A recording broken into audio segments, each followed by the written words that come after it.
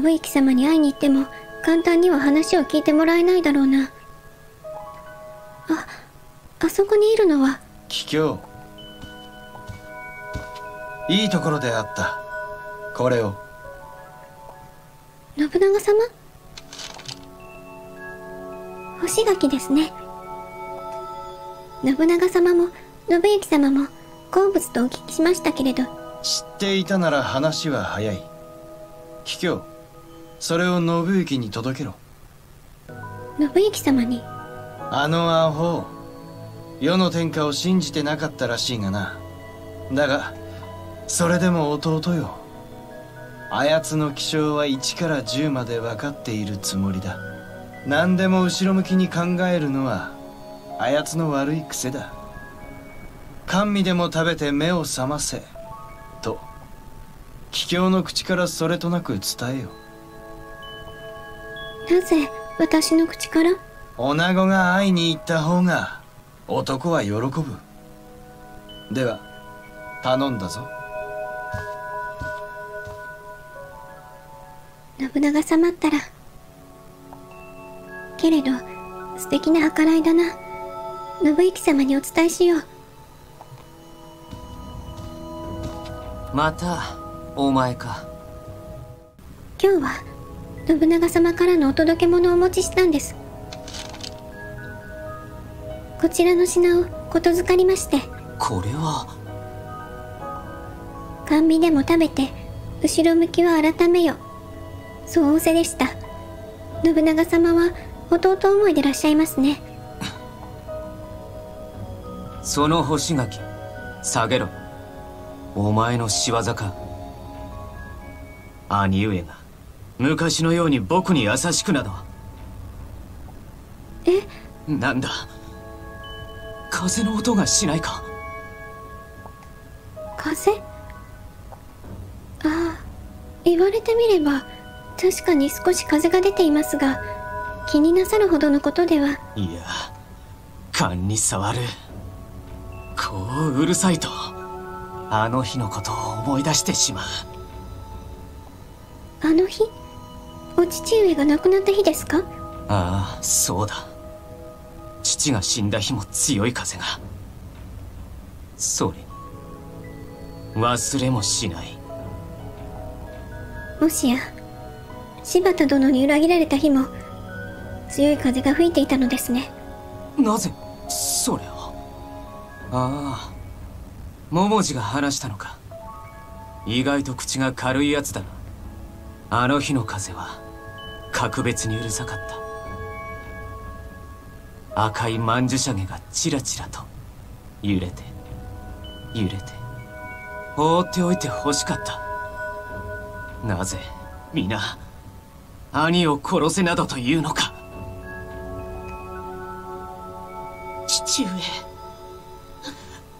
どうして僕が修羅の道に落ちねばならないのでしょう。泣くだけ無駄だ甘ったれが赤の前でいくら泣いても死んだ奴は蘇らない。し忍び桃地が柴田の裏切りを教えてくれたから僕は死なずに済んだんだ。それからは忍びを正式に雇い入れ何でもさせた。諜報や身辺の警護。それに各地の武将とつながりを持たせ謀反の木に備えさせてきた。信之様。優しげな声を出すなよ。お前に何がわかる。風が今も止まないんだ。父が柴田が兄上がわめく。天下を目指さなければ物のふとは呼べない。うるさいうるさい。うるさい。もうたくさんなんだ。一生強風に身をすくめ心を乱されながら生きろというのか。信之様のお心の中に平穏を乱す風が。どうしたら沈めて差し上げられる？もう本当にあと少しなんだ。6年かけてここまで来た今は僕に力を貸す兵が大勢いる。それに光秀殿城内に同志も見つけた。やっと僕なりのやり方で奪える。兄上の夢をそうして初めて僕は安息を得ることができる。兄上を殺したらきっと。信行様おやめください。うるさい。だからもう何も聞きたくないんだ。信行様。信行様が耳を傾けるべきは私の言葉ではなくご自分の心の声でしょう。何？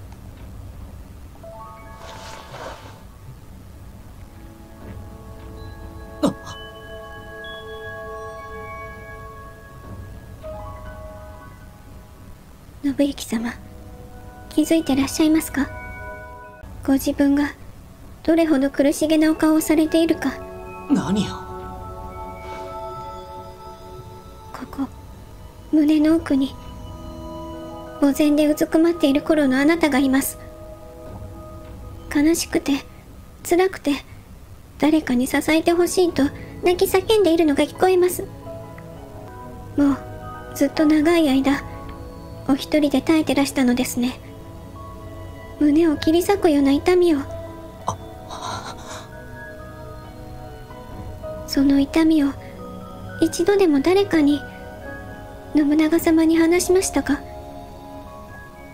今からでも遅くはありません。せめてお心の内を私の師匠などに話せば。やめろ。信行様。やめろ頼む。やめてくれ。五章だ。お前にはこの手で兄の命を奪ってもらう。それが仕事だ。僕の心に寄り添えとまでは頼んでいない。でもお前はただの親切で柔らかな手を差し出すのだろうがやめておけ深い闇に引きずり込まれて出られなくなるぞ。じゃあな。次は宴で。信行様本当にこのままでいいの？光秀殿に会うは言ったけれど胸がざわついて落ち着かない。もうすぐ。私はこの手で信長様を。修行に行こう。心を鎮めなければ。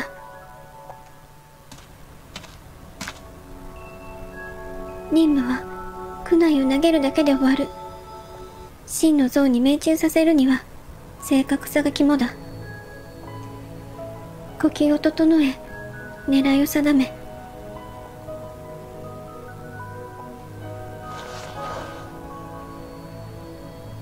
られない。信行様の涙やあの瞳が私にやめろと告げている気がして。やっと僕なりのやり方で奪える。兄上の夢をそうして初めて僕は安息を得ることができる。兄上を殺したらきっと。もう一度だけあの方にお会いしたい。こんな真夜中では眠っていらっしゃるだろうけど後悔はしたくないから。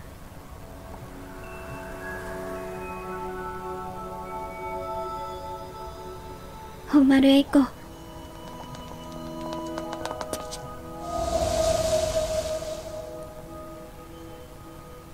今夜は風が強い。信行様。縁側からそっと声をおかけしてみて。お返事がなければ去ろう。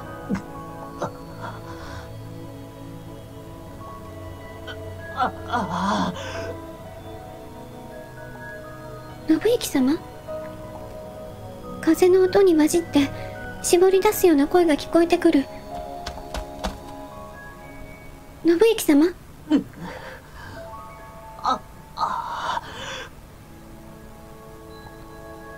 お許しください。入ります。あ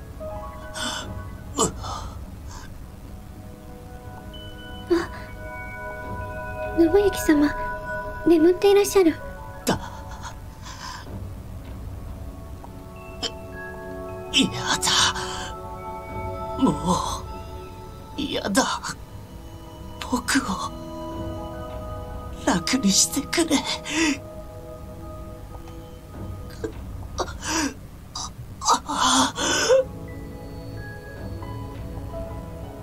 信行様が安息を得るためには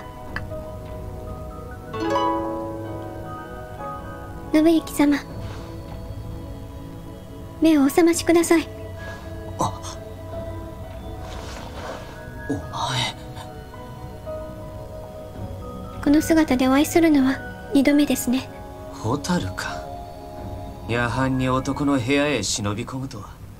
さすがはくのいちとでも言えばいいのか？何をしに来た？宴の前にどうしても信行様にお会いしたくて。お休みになっていたら帰ろうと思っていましたがひどくうなされておいでだったので。親切心で起こしてくれたと？ありがたいことだな。信行様さっきどのような夢を見ていらっしゃったのですか？覚えていもしかして信長様の夢だったのでは？上ごとで楽にしてくれと仰せでした。あまりに苦しそうで聞いているこちらの胸が張り裂けそうになるくらい。信長様のお命を奪えば信行様は楽になるのですか？むしろ兄君を亡き者にしなければならないことこそがあなたを苦しめているのでは。私にはそう思えてなりません。恨む以外の他の道があるのではないでしょうか。あなたが救われるために。言いたいことはそれだけか。信行様。言ったはずだ。もう僕に近寄るなお前はとんでもないくの一だ。優しい声で綺麗な瞳で僕を追い詰める。兄上を憎むのは僕の宿命だ。兄上から天下を奪わなければもう立ち止まれないんだ。だからお前が退き立ち去れ。でなければ。このまま切り裂いてやる。疲れたような暗い目。詰め寄られる。なぜ動かない？お前のような女には僕の剣など恐るるに足らないか。なんとか言えよ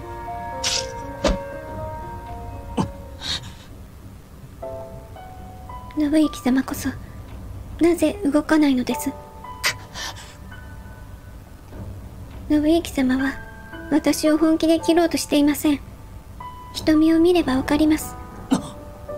だとすればお前などどうでもいい存在だからだ。僕が切りたいのは兄上。兄上の死。それさえ叶えば僕は救われる。本当に？信行様は？黙れ。お前の言葉は聞かない。聞こえない。聞こえないんだ。風の音がうるさすぎて。何も。何も。信行様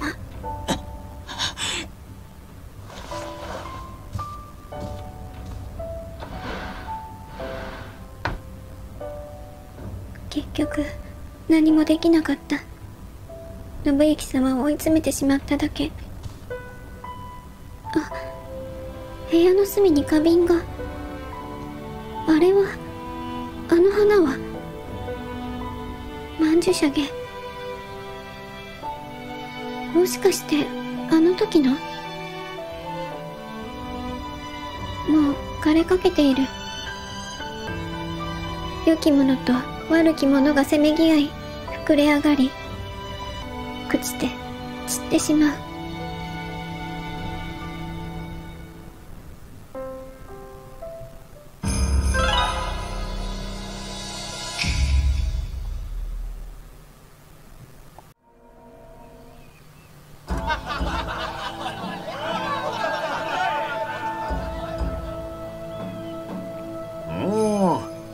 つは貝アワビか？海の珍味が揃ってるわな。光秀殿が全てご手配されたのですか？素晴らしいですね。ええ。皆々様のお口を楽しませるように入念に準備してまいりました。お酒の方はいかがですか？一口飲むごとに極楽への階段を上る心地。名手だなこりゃ。うん光秀褒めて使わす。蘭も今宵ばかりは存分に楽しむがいい。いえ俺は後で結構です。贅を尽くした珍味にめったに味わえぬ名手極楽も格やと思うほどの宴ですな。久方ぶりの宴に心が弾みまする。身分を問わず座についた者は皆上機嫌この宴での計りごとなど誰も想像していない。うん。どうした？桔梗。顔が青ざめているぞ。いいえ。本当ですね。まるで勇気のようだ。大丈夫かい？卑怯君このところ体の調子が思わしくなかっただろう。風に当たって冷えてもいけない部屋に下がっておいで。蛍が出たら知らせてあげるから。そうするがいい。ほら卑怯信長様もこうおっしゃってくださっている。行きなさい。申し訳ございません。それでは少しだけ失礼して。信行様。いえ。姫お大事に。ありがとうございます。うんどうしたんだい？お姫さんは気分が優れないらしく少し中座させてもらいました。うん。心配ですね。蛍が出るまでに戻っていらっしゃればいいんですが。すぐに治ると思いますのでどうかお気になさらずに。皆様禅の続きを。宴はまだまだ。これからですから。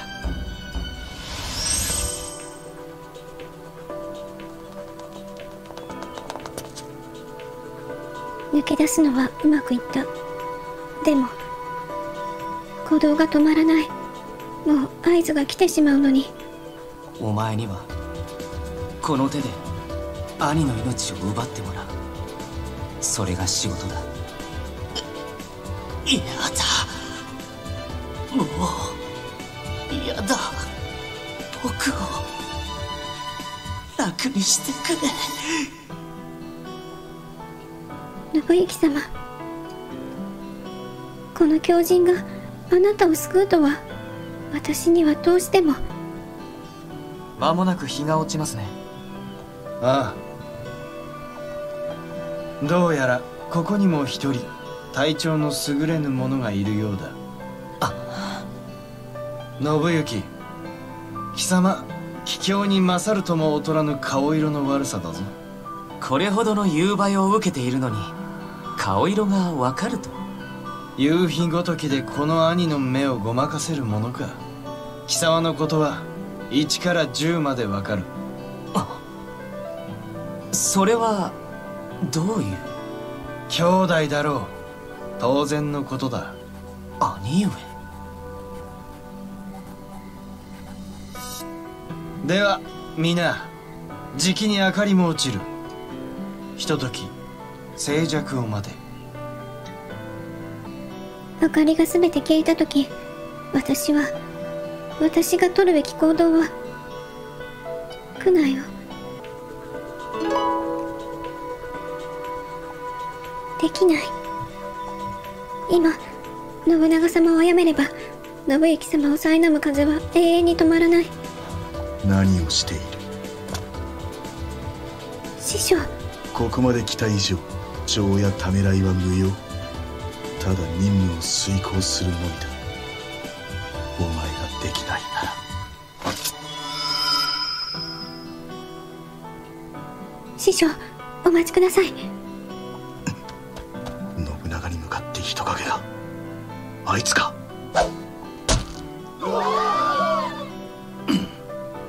兄上！蛍お前のその悲嘆は信長に向けたものかそれと信行にか。どちらもです。師匠。師匠も分かっているでしょ信長様の死は信行様の心の死も同然。信長様が死ねば信行様から永遠に安息の日々を奪ってしまうと。そうかもしれんな。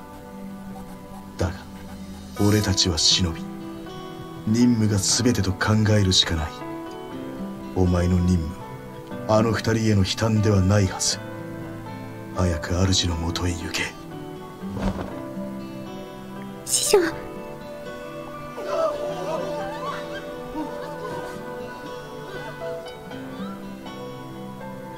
信長様お怪我は？今の区内はどこから？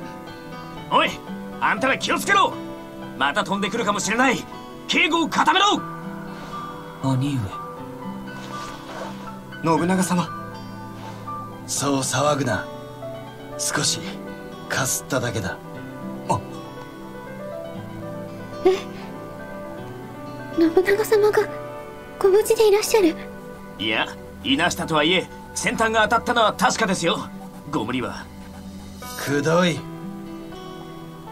どうした信行この程度の襲撃に驚いて声も出ないか。世は区内の飛来よりも貴様が走り寄ってきたことの方に驚いたが。さすがは信行様。とっさに兄君を守ろうとなされたか。あっぱれでございます区内は向こうの屋根から飛んできた。敵に追っ手を差し向けろ。いけない。私も早くここを立ち去らなくては。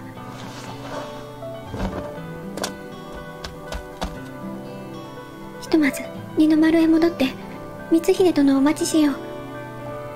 信長様がご無事だった以上任務失敗のいや任務を拒否した罰を受けなくては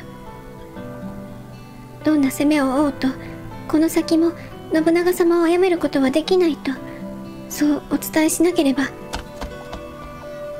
兄上この大事にあたり申し訳ありませんがめまいがいたしますので退席をお許しいただけますか？